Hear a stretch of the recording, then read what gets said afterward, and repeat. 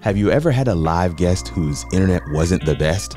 Or maybe you wanted to pull a clip from a show of yourself or a guest, but you don't want any of the show graphics or comments. I'm listening. Your mind is racing right now with possibilities, and I want to confirm the answer is yes. Wow. Local recording in StreamYard means you can get a high quality recording local to the host or guest machine that is uploaded and made available to you for both recorded interviews and live shows. I need that. Kirk Nugent here, your live video coach. And on this channel, I give you the step by step guides and practical tutorials for the do it yourself video creator that learns visually. And today, today, we're looking at local records in StreamYard, plus a little bonus dark mode. Let's go.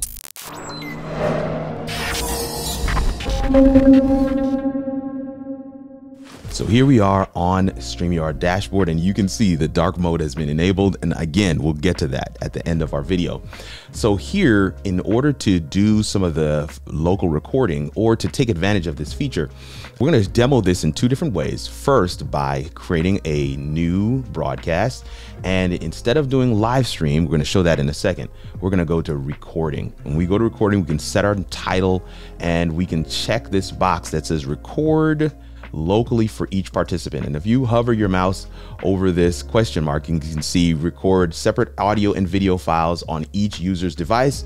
Even if someone has weak connection, the recordings won't be blurry or choppy. Useful if you need to do post-production editing.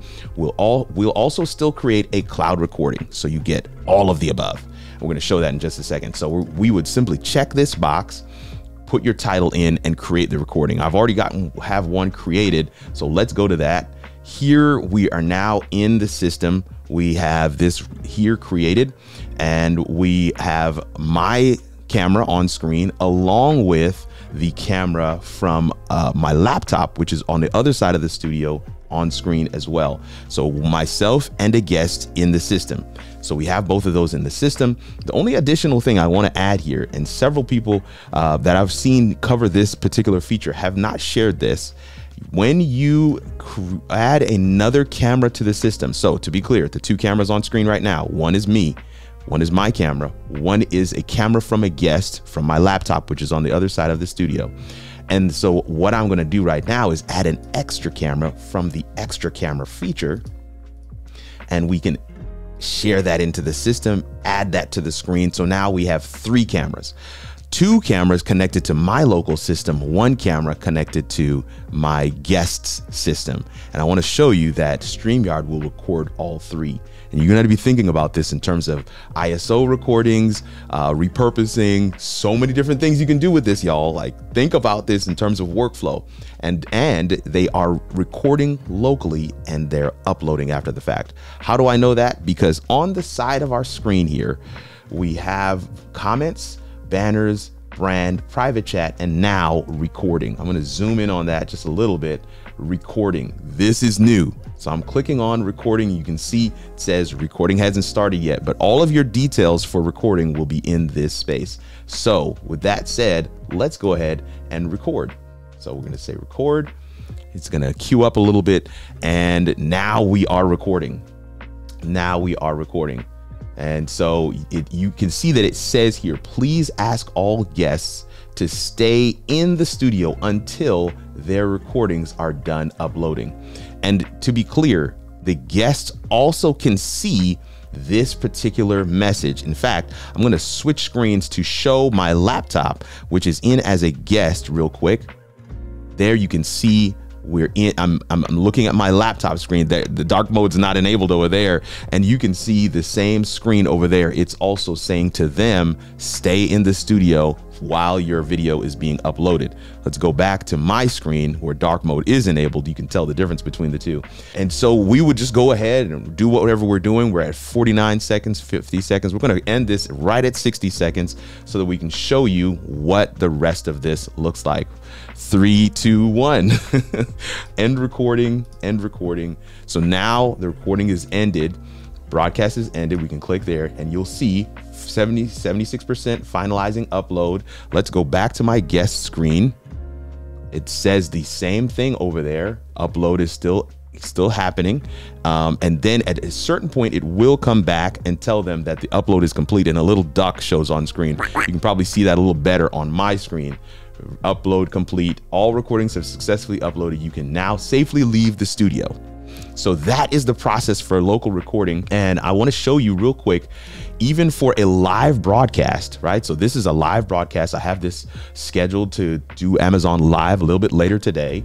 Um, even in a live broadcast, you can still enable the recording feature right? So then, and if you're looking at the screen right now, you're noticing that the recording icon is not here.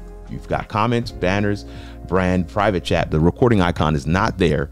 If we come down here to settings, come to settings, you have a whole feature here, a whole item called recording. So we click on that and we simply check this box saying record. And you can decide if you want to just record audio, but of course I would want to record both, record audio and video. And you can select this and then it basically opens up that feature like we now we have the recording feature here, and we have the same same exact settings as we would have had um, for a local record. So whether you're going to go live or you're just recording into the studio, you can enable the local recording and get that good high quality video. But to be clear, this is going to when you do it live, this will also record your broadcast and you will still have that available along with the uploaded locally recorded videos as well. Let's take a look at that by going back over to our recording. And here we have the option to just go and view recordings. Now, uh, to do this the manual way, you would simply just come right here to the dashboard, go into videos, and this option right here is the local record test. We can click in there and we would have that but I did want to use this button since it's here uh, and it's new, view recordings. We click on that, it opens up that particular video. I'm going to pause the video from playing. This is the quote unquote original recording. This is what we have on top, original recording.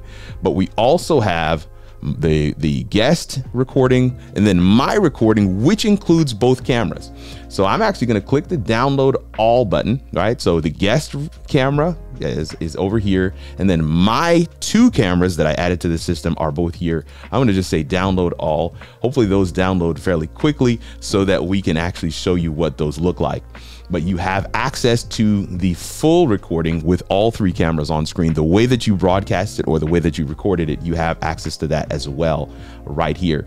So now I'm going to just open up my desktop and I have these three local recordings, one, two, three. So I'm, let's, let's try these out. So here is a recording of my back, the behind the scenes camera.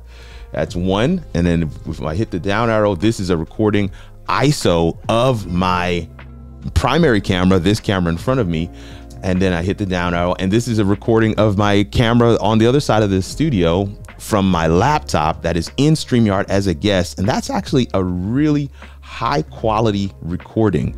The thing to be mindful of is that this particular video will have audio along with your guest's video will have audio, but the shared camera that you bring into the system will not have audio. So keep that in mind.